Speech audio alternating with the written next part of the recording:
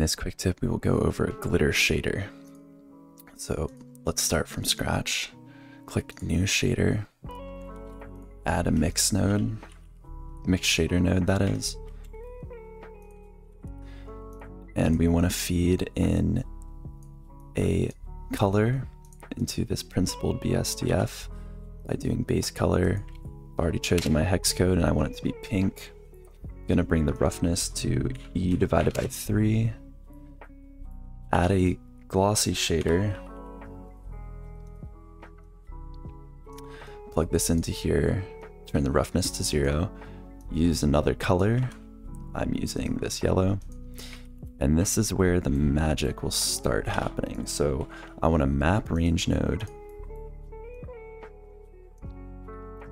And I'm going to plug that, make that a mask into E divided by 16, E divided by 16 plus 0.01 to clamp this mask. Now I'm going to add a Voronoi texture plug this distance into the value. And I'm gonna also plug this color value into here. Excuse me, rather the normal map. I'm adding a normal map into here. Increase the scale to 100. And you can see it's coming together quite nicely.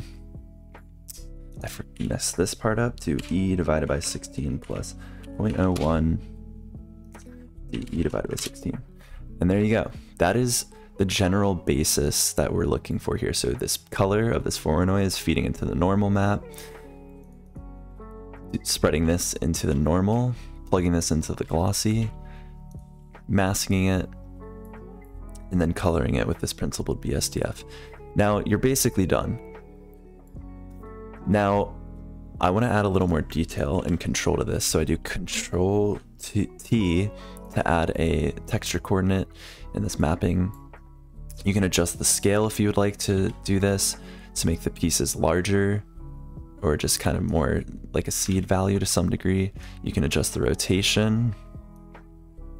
You can adjust the location as another seed value to control this.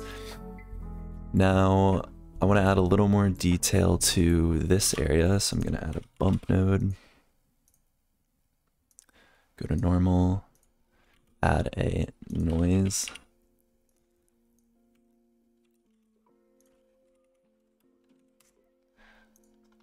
Plug this into the height. Decrease this E divided by 3 I'm doing right here. To increase the detail. And you can see that's way too much. But it looks kind of cool, but we're to lower this to 0.1. Actually, let's go even lower. Let's just do 0.001. Just to add some nice um, bumps and a little more shadow information.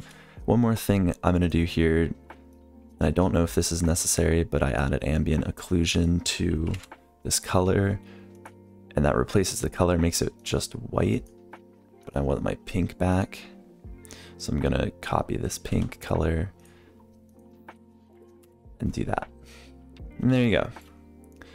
You can just adjust these parts, change the colors, change the clamping, and that should about do it. Thank you for watching.